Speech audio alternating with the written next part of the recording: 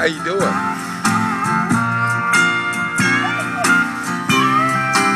You like it country, don't you, Rosco?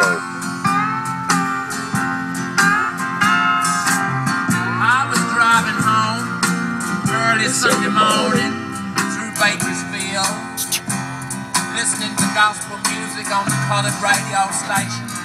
Wanna play? And the preacher said,